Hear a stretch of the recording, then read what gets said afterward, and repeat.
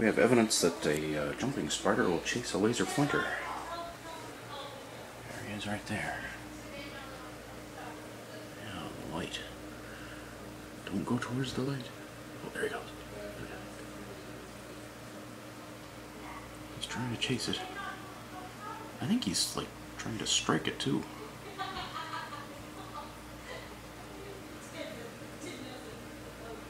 He's going right after it. I think he's mad.